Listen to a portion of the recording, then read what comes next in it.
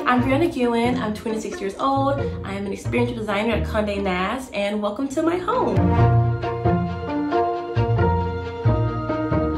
So for me, maximalism is about like being intentional with the things you have. Um, it's not just about having a lot of things. There is a fine line between being cluttered and being maximalist. I would say my three big tips for a maximalist space is definitely having a cohesive color palette. For me, I chose vibrant pastels. And then of course, pattern mixing. Don't be afraid of it.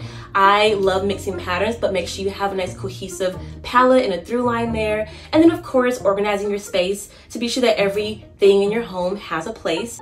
So in my bed, I have my Brooklinen duvet cover and my sheet set. And I really love it because I get to like do my favorite thing of pattern mixing and it fits like just right into my space. I get to keep being me with my beautiful Brooklinen set. Thank you so much for stopping by my apartment and be sure to head over to Brooklinen's website for more options. Bye!